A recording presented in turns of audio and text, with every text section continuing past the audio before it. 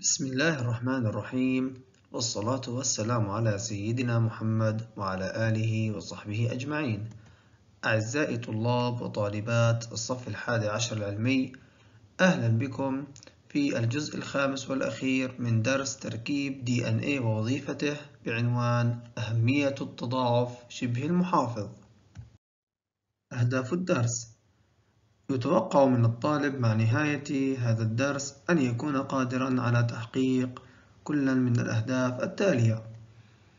أولا يوضح أهمية تضاعف DNA ثانيا يفسر سبب دقة عملية تضاعف DNA ثالثا يوضح المقصود بالعملية شبه المحافظة في تضاعف DNA المصطلحات العلمية الرئيسية في هذا الدرس.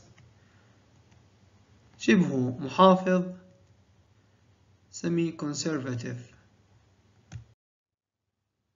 دعونا نبدأ الدرس بمراجعة ما تعلمناه في الدروس السابقة عن تركيب ال DNA حيث ذكرنا أن جزيء ال DNA الموضح في الشكل المقابل يتكون من مونومرات تسمى النيوكليوتيدات. وذكرنا أيضا أن كل نيوكليوتيد يتكون من ثلاثة أجزاء رئيسية.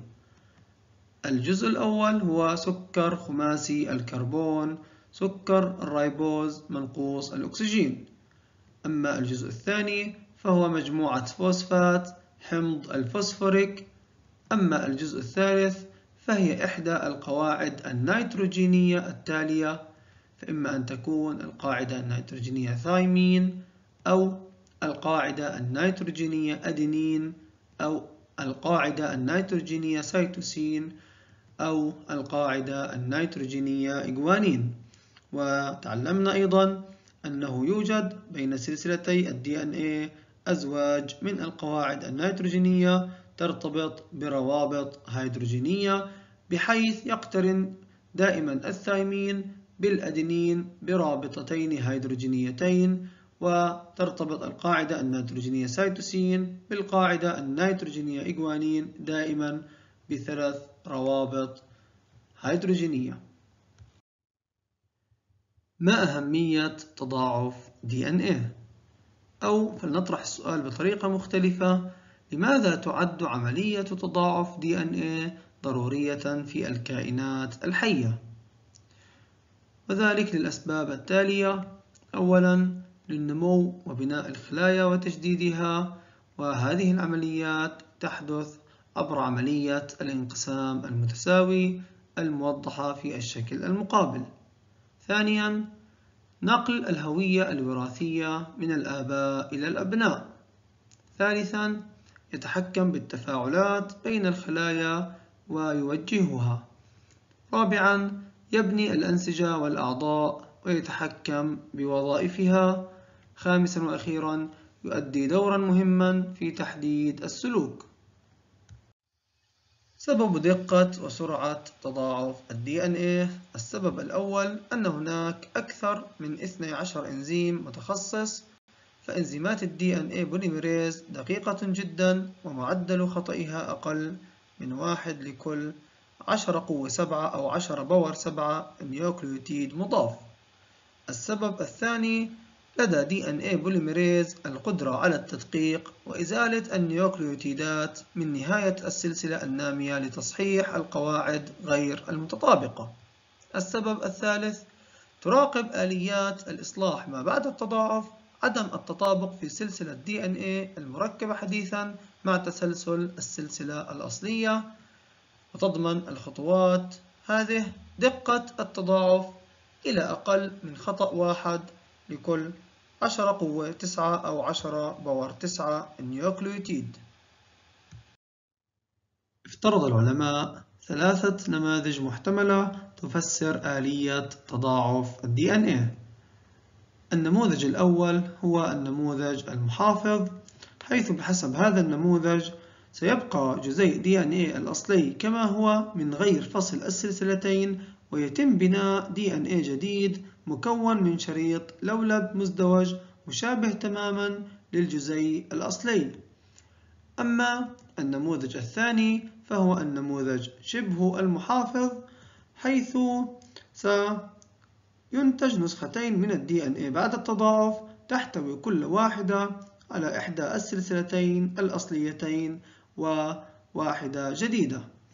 أما النموذج الثالث فهو النموذج التبددي أو النموذج المشتت وبحسب هذا النموذج سينتج نسختين من ال DNA كلاهما تحتوي مناطق محددة مختلطة من السلسلتين القالب والسلسلتين الجديدتين ولكن الأدلة التجريبية منحت أدلة قوية على أن النموذج شبه المحافظ هو النموذج المعتمد وهو النموذج الذي فسر بشكل دقيق آلية تضاعف ال DNA ودعونا الآن نقوم بتوضيح آلية تضاعف ال DNA بحسب النموذج شبه المحافظ حيث تحدث آلية التضاعف بحسب هذا النموذج على ثلاثة خطوات. أولا يتم تفكيك الروابط الهيدروجينية الضعيفة الموجودة بين كل زوج من أزواج القواعد النيتروجينية المتقابلة بفعل إنزيم DNA helicase فتتفكك سلسلتا ال DNA الأصلي إلى سلسلتين منفردتين. الخطوة الثانية تعمل كل سلسلة من جزيء ال DNA كقالب أو طبعة يمكن أن يبنى عليها سلسلة جديدة حيث ترتبط النيوكليوتيدات التي تحتوي على القاعدة النيتروجينية أدينين بتلك التي تحتوي على الثايمين وترتبط النيوكليوتيدات التي تحتوي على الجوانين بتلك التي تحتوي على السيتوسين طبقا لقانون أو لقاعدة اقتران القواعد النيتروجينية ويقوم إنزيم بلمرة ال DNA polymerase بربط النيوكليوتيدات الجديدة معا لتشكيل عمود جديد من الفوسفات والسكر. أما في الخطوة الثالثة فيتحرر إنزيم بلمرة ال DNA ويتكون لدينا دي إن اي في كل جزيء إن اي لدينا سلسلة أصلية وسلسلة جديدة. إذا السلسلتان من إن اي مشابهتان لجزيء اي الأصلي تماما. إذا بحسب النموذج شبه المحافظ فإن جزيء ال DNA الناتج عن التضاعف يتضمن سلسلة قديمة من الجزيء الأصلي وسلسلة جديدة مكملة له. الأمر الجوهري في دقة تضاعف ال DNA هو أن العملية شبه محافظة، فنصف سلسلة ال DNA الأصلية موجود في كل نسخة من الاثنتين. العملية شبه المحافظة وجزيء ال DNA المزدوج السلسلة دقيقان إلى درجة أن كل الكائنات الحية التي تعيش حاليا على الأرض ترتكز على ال DNA وهكذا نكون قد وصلنا إلى ملخص درسنا لهذا اليوم. فعملية تضاعف DNA مهمة للنمو وبناء وتجديد الخلايا والأنسجة والأعضاء ونقل الهوية الوراثية من الآباء للأبناء إنزيمات DNA polymerase دقيقة جدا ولديها القدرة على التدقيق وإزالة النيوكليوتيدات من نهاية السلسلة النامية لتصحيح القواعد غير المتطابقة. تراقب آليات الإصلاح ما بعد التضاعف عدم التطابق في سلسلة DNA المركبة حديثا مع تسلسل السلسلة الأصلية. عملية تضاعف DNA عملية شبه محافظة يكون في كل نسخة DNA ناتجة عن الانقسام سلسلة DNA أصلية وسلسلة متممة لها أي سلسلة جديدة. التقويم الختامي السؤال الأول أي النماذج التالية يمثل النموذج شبه المحافظ في تضاعف DNA؟ بشكل تلقائي عزيزي الطالب لعلك توصلت أن النموذج الأوسط هو النموذج الذي يمثل النموذج شبه المحافظ وذلك لأن في كل DNA ناتج لدينا سلسلة أصلية وسلسلة جديدة. السؤال الثاني بين أهمية تضاعف إن إيه في الكائنات الحية. الإجابة واحد للنمو وبناء الخلايا وتجديدها. اثنان نقل الهوية الوراثية من الآباء إلى الأبناء. ثلاثة يتحكم بالتفاعلات بين الخلايا ويوجهها. أربعة يبني الأنسجة والأعضاء ويتحكم بوظائفها. خمسة يؤدي دورا مهما في تحديد السلوك. السؤال الثالث من التقويم الختامي. فسر هذه العبارة عملية تضاعف DNA عملية دقيقة. الإجابة إنزيمات DNA polymerase دقيقة جدا ولديها القدرة على التدقيق وإزالة النيوكليوتيدات من نهاية السلسلة النامية لتصحيح القواعد غير المتطابقة. وكذلك هناك آليات للإصلاح ما بعد التضاعف تراقب عدم التطابق في سلسلة دي إن إيه المركبة حديثا مع تسلسل السلسلة الأصلية. السؤال الخامس والأخير من التقويم الختامي لهذا الدرس. يقول السؤال مستعينا بالشكل المقابل الذي يوضح عملية تضاعف جزيء دي إن إيه؟ أجب عن الأسئلة التالية. أولا بين اسم ووظيفة الإنزيم الذي يعمل أثناء الخطوة الموضحة بالحرف X.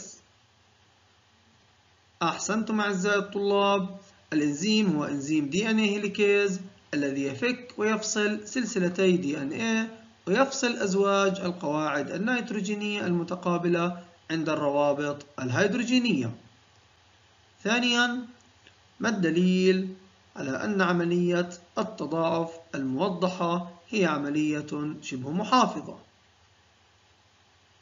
لعلكم توصلتم أعزائي الطلاب أن الدليل على ذلك أن كل جزيء إن إيه ناتج يحتوي على سلسلة أصلية نصف الجزيء الأصلي وسلسلة جديدة أي سلسلة متممة. وهكذا نكون أعزائي الطلاب قد انتهينا من درس تركيب إيه ووظيفته. ودعونا نقوم بمراجعة عامة لهذا الدرس كما في صفحة 47 في كتابك المدرسي حيث يحمل الحمض DNA معلومات الكائن الحي الوراثية ويخزن في الخلايا الحقيقية النواة داخل النواة حيث يشفر المعلومات الوراثية في تسلسل القواعد النيتروجينية. يعد دي أن إيه أكبر جزيء حيوي معروف وقد يتكون من ثلاثة مليارات زوج من القواعد. يتكون دي إن إيه من لولب مزدوج يضم في مركزه أزواجا من القواعد. القاعدة النيتروجينية أدينين ترتبط بالقاعدة النيتروجينية ثايمين والقاعدة جوانين ترتبط بالقاعدة سيتوسين فيما تشكل مجموعات السكر والفوسفات الجانبين. يشكل اللولب المزدوج مفتاح فهمنا لكيفية تضاعف ال DNA من أجل تمرير المعلومات الوراثية إلى الأبناء.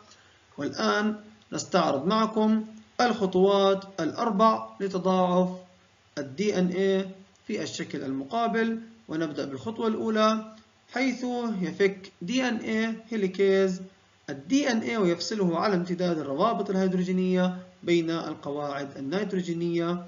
أما في الخطوة الثانية فيعاد تجميع النيوكليوتيدات المتممة بواسطة إنزيم DNA polymerase على كل سلسلة مفردة مكشوفة وتكون كل سلسلة مفردة قالبا للسلسلة الجديدة التي يجري بناؤها وتسمى هذه العملية بالعملية شبه المحافظة لأن نصف DNA الأصلي يحفظ في النسخة.